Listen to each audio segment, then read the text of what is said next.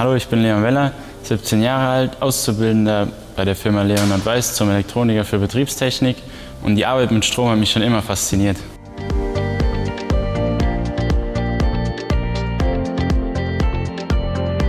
Ich finde schon, dass ich einen sehr abwechslungsreichen Beruf erlerne, weil man wirklich mit allem, was irgendwie auf der Baustelle elektrisch ist, zu tun hat.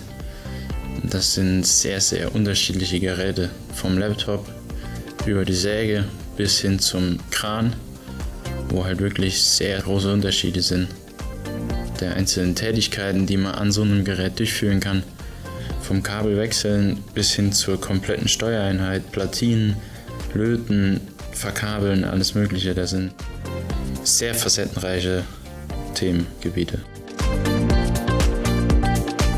Es ist ja nicht nur, dass man ein bisschen Strom verlegt, sondern dass man halt auch die Leitungen vernünftig verlegt und anschließt, so dass da halt keiner ranpacken kann, dass man alles vernünftig macht, dass da niemand sich verletzen kann, dass da nichts passiert. Es ist wirklich wichtig, dass man immer Respekt vor dem Strom hat und wirklich weiß, was man tut. So Meister, ich brauche einen Auftrag.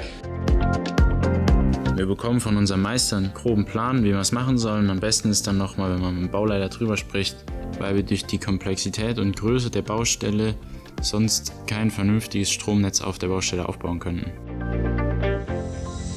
Ohne Strom läuft hier nichts und genau das ist mein Job.